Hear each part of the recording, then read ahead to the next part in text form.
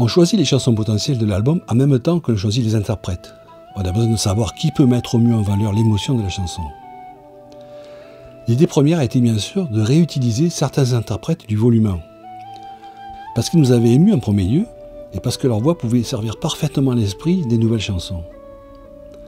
Et puis, dans l'optique de faire un spectacle sur scène, ça donne une épaisseur supplémentaire à un artiste s'il peut interpréter plusieurs chansons plutôt qu'une seule. Alors, Tour de France, One More Time.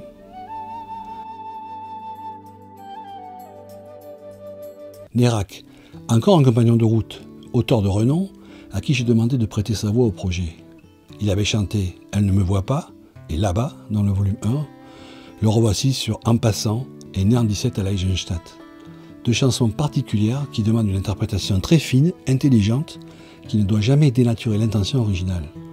Il a compris l'essence de l'interprétation parce qu'il est un fervent admirateur de l'artiste original. Et son thème de voix, proche de Jean-Jacques, rajoute à l'authenticité de la restitution émotionnelle dans son élément naturel, la Normandie, près des plages du débarquement. C'est la première musique qui me vient quand je pense à mon enfance en fait. Et, euh, j'ai appris à chanter en, j'ai appris à chanter en chantant euh, sur du, euh, Jean-Jacques dans ma chambre avec, avec ma raquette pour, faire la, faire la guitare.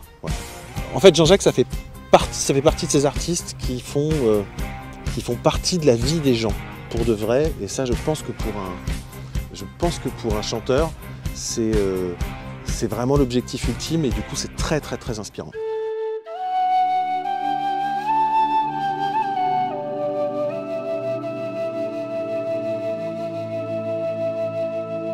Je me suis retrouvé à, chanter, en tout cas au début de ma carrière, euh, à chanter instinctivement sans m'en rendre compte, comme, Jean-Jacques. Quand on travaille à, construire sa personnalité, c'est important de, digérer les influences. Donc c'est une influence très forte euh, et, qu'il a fallu digérer. Et comme c'est une influence importante, elle était un peu plus longue à digérer que les autres. Et si j'étais né en 17 à Leidenstadt, sur les ruines d'un champ de bataille,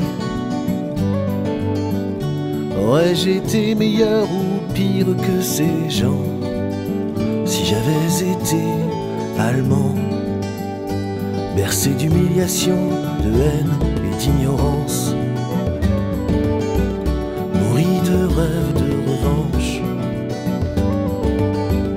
Aurais-je été de ces improbables consciences, l'arme au milieu d'un torrent. Néant 17 à Lendelstadt, c'est une chanson qui, euh, qui, je pense, parle à, à beaucoup de gens parce que c'est une question qu'on se pose vraiment. Et c'est une question, euh, c'est une question essentielle. C'est assez rare qu'une chanson euh, populaire entre guillemets euh, pose des questions, pose des questions aussi essentielles que est-ce que je serai un héros ou est-ce que je serai un salaud? Doucement reviennent à pas de loup, reine endormie nos anciennes coulent les fontaines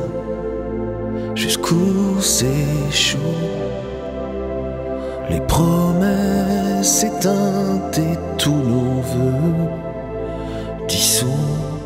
Les gens qui vont venir voir le spectacle, c'est euh, essentiellement des, gens qui, euh, je sais pas si on peut dire fans, mais qui aiment Jean-Jacques euh, profondément. Donc je me sens très proche des gens qui seront dans la salle. Donc l'idée c'est de, de fêter ça ensemble et, d'en profiter. Et pour chanter du Jean-Jacques en plus, bon, on va pas bouder notre plaisir. Ça, va être, ça devrait être très très très chouette. C'était des que l'on ne signait pas.